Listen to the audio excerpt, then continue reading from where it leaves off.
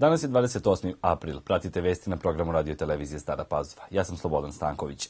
Ministar bez portfelja u vladi Republike Srbije zadužen za evropske integracije Jadranka Joksimović, ambasador SAD-a u Srbiji Kyle Scott i direktor Američke agencije za međunarodni razvoj AZLABD potpisali su amandmane na sporazum za bolje funkcionisanje državne uprave i sporazum za konkurentniju tržišnu ekonomiju. Joksimović je iznevši podatak da će naša zemlja na ovaj način dobiti još 9,1 milion dolara dodatne razvojne pomoći Sjedinjenih američkih država, ocenila da je danas važan dan za nastavak razvojne saradnje Srbije i SAD-a, budući da su potpisani amandmani usmereni na bolje funkcionisanje uprave i stvaranje boljih tržišnih uslova. Ovo je zaista važan trenutak da kažemo građanima da su SAD jedan od najvećih bilateralnih donatora u procesu podrške reformama. Podvukla je ona dodavši da su politički odnosi promenljivi s obzirom na međunarodne okolnosti, ali da bi finansijsku podršku SAD-a trebalo uvek da imamo u vidu. Ne očekujemo da bilo ko ugrozi bezbednost Srbije, ali smo spremni ako to bilo kome padne na pamet da snažno odgovorimo, rekao je danas ministar policije Nebojša Stefanović. On je pred sednicu Biroa za koordinaciju službi bezbednosti rekao da će ključna tema biti šta je to što su bezbedonosne službe preduzele da zaštite građane Srbije. Odgovarajući na pitanje novinara, on je rekao da se u poslednjih nekoliko godina intenzivno radi na tome analizi i proceni svih mogućih scenarija u državama u okruženju koje su pokazale znake nestabilnosti Preduzete su mere da građani Srbije ne moraju da brinu. Oprezni smo već godinama zbog situacije na južnim granicama, rekao je Stefanović. Ministar je dodao da je država razvila mehanizam sa policijom, vojskom i bezbedonosno-informativnom agencijom i ti štabovi svakodnevno zasedaju, donose određene mere kojima se štiti naša granica. Predsednik vlade Republike Srbije Aleksandar Vučić razgovarao je sinoć sa liderima u regionu dešavanjima u Makedoniji, pri čemu je tom prilikom zaključeno da je smirivanje situacije jedino moguće rešenje. Vučić je razgovarao sa liderom VMRO DPMN Nikolom Grujevskim, premijerom Bugarske Bojkom Borisovim i predsedavajućim parlamentu Albanije ili Rometom. Ministar spoljnih poslova Ivica Dačić kaže da ono što se događa u Makedoniji nije samo lokalni problem za Makedoniju, već problem za čitav region. On je dodao da u Makedoniji nema vlade za politički dogovor, da i u Hrvatskoj vlada politička nestabilnost, te, je, te da je od vitalnog značaja da se utvrdi da li postoji autoritet koji drži stvari pod kontrolom. Međunarodna zajednica nije intervenisala sa zahtevom da se dođe do kompromisa, već da se prihvati jedna opcija, ocenjuje Dačić. Radovi na izgradnji trafostanice u Krnješevcima u punom su jeku. Iako je krajnji rok za završetak radova mart sledeće godine, Staropazovačka opština bi drugu trafostanicu mogla dobiti krajem ove godine, tvrdi izvođač radova.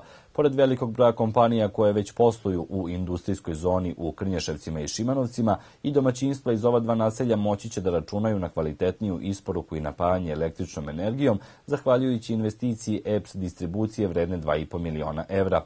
U pitanju je izgradnja trafostanice u Krnješevcima kapaciteta 30 MW, čiji su radovi počeli početkom oktobra na parceli površine od 31 hektara. Izvođač radova ističe da se građevinski radovi privode kraju, a da u skorijem periodu slede elektromontažni radovi. Opština Stara Pazova je pored zemljišta obezbedila deo infrastrukture i neophodnu dokumentaciju, a prvi čovek opštine Đorđe Radinović ističe da će izgradnjom ove trafostanice biti rasterećena trafostanica u Novoj Pazovi, te će investitori koji posluju u ovom delu opštine imati još kvalitetniju isporuku električnom energijom.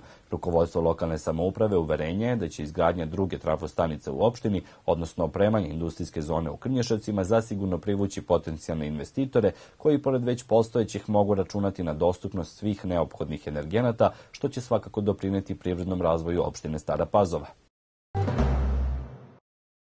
I ove godine Republika Srbija nastavlja podršku privrednicima koji već posluju, ali i početnicima u biznisu. Po rečima Tanje Mijajlović iz Regionalne razvojne agencije SREM u ponudi je start-up paket do milion dinara za nabavku novih i polovnih mašina i alata do 5 godina starosti, zatim za adaptaciju poslovnog prostora, a ako ostane do milion dinara i 20% za trajna obrtna sredstva. Rok je do 5. maja, mogu da apliciraju fizička lica koja planiraju da realizuju sobstvenu delatnost i oni koji u momentu apliciranja najduže dve godine rade u oblasti proizvodnje i usluga. Kod proizvodnje bespovratna sredstva mogu da budu do 70%, a 30% je sobstveno učešće. Za uslužne delatnosti 50% su bespovratna sredstva, 50% sobstveno učešće, a uslov je da u narednih godinu dana zaposle dva lica na neodređeno vreme i Fond za razvoj Republike Srbije nudi posticaje 30% bespovratnih sredstava, a 70% kredit. Detalji podrške i apliciranja dostupni su i na sajtu Regionalne razvojne agencije SREM. Povodom predstojećih prvomajskih praznika, kada građani tradicionalno borave u prirodi, Ministarstvo poljoprivrede i zaštite životne sredine apeluje na građane da učine sve kako bi se predupredio eventualni nastanak šumskih požara. U saopštenju Ministarstva građani se pozivaju da ne pale vatru na otvorenom prostoru u prirodi ukoliko ta mesta nisu za to predviđena, vidno obeležena i obezbeđena i da ne vrše nekontrolisano paljenje vatre pri izvođenju poljoprivrednih i drugih radova u blizini šume. 1. i 2. maja u ambulantama opšte medicine u Staroj i Novoj Pazovi organizovano je dežurstvo u vremenu od 9 do 15 časova, a u ambulanti opšte medicine u Starim Banovcima organizovano je dežurstvo u vremenu od 9 do 13 časova. Istog datuma na odeljenju pedijatrije u Staroj i Novoj Pazovi organizovano je dežurstvo u vremenu od 9 do 15 časova. Apoteke Doma zdravlja prate rad službi opšte medicine tako da će građani biti u mogućnosti da podignu propisanu terapiju. Služba za hitnu medicinsku pomoć radi sa pojačanim ekipama za vreme praznika. Služba hemodijaliza radi neometano po rasporedu od ponedeljka do subote. Saobraćeno preduzeće Lasta tokom prvomajskih praznika, dakle 1. i 2. maja, saobraća po nedeljnom redu vožnje. Kompanija Univer Export izlazi u susret svojim potrošačima prilagođenim radnim vremenom za predstojeće praznike. U nedelju 30. aprila radno vreme je produženo svim maloprodajnim objektima koji inače nedeljom rade do 14 časova i to do 22 časa. Za praznik rada radno vreme je do 12 časova za većinu maloprodajnih objekata. Objekti DISA tokom praznika radiće uobičajeno.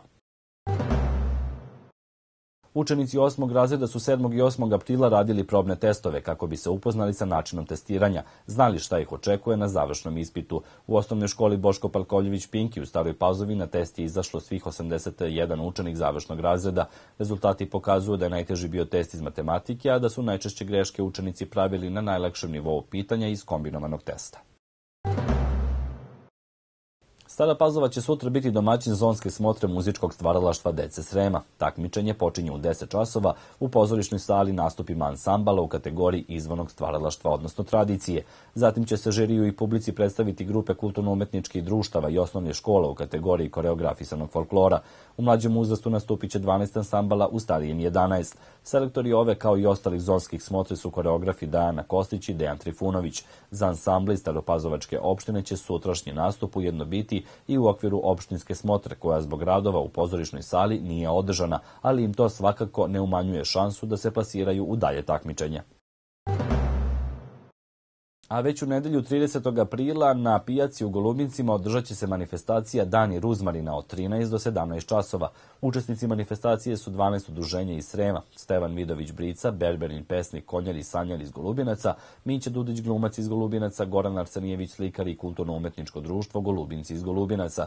U takmičarskom delu biraće se najslavno i slatko jelo, najlepši i najstariji ručni radovi i slično. Posle toga sledi proglašenje i dodela nagrada i priznanja najboljima i druženje u prostorijama HKPD-a Tomislav uz bogat kulturno-umetnički program. Organizator manifestacije je Udruženje građana Ruzmarin iz Golubinaca. Odbojkašice jedinstva poražene su u prvoj utakmici finala play-offa u borbi za prvaka Srbije od Vizure sa Novog Beograda sa 3-1 u setovima. Utakmica je odigrana u Staroj Pazovi pred oko 400 gledalac. Ovim triumfom Vizura je povela sa 1-0 u pobedama, a naredna utakmica će se igrati ponovo u Staroj Pazovi i to u nedelju. Titulu prvaka osvojit će ekipa koja prva zabeleži tri pobede. Sutra će se igrati utakmice 24. kola Srpske lige područje Vojvodina. Futbaleri omladinca će u Novim Baloncima dočekati Vršac. Dunav Stari Banovaca će se u Beočinu sastati sa cementom, a radnički iz Nove Pazove će biti gost radničkog u Šidu. U 24. kolu Vojvođanske lige grupa Jug jedinstvo će sutra u Staroj Pazovi dočekati mladost iz Bačkog Jarka, Podunavac iz Belegiša će biti gost Kupinova u nedelju, a Sremac iz Vojke će igrati u Lačarku protiv LSK.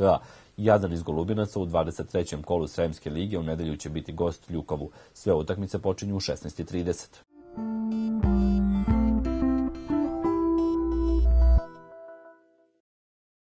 I na samom kraju saznaćete kako nas vreme očekuje sutra i narednih dana. Naime, za vikend hladnije sa kišom, minimalna temperatura u subotu 8 stepeni, najviša dnevna 14 stepeni.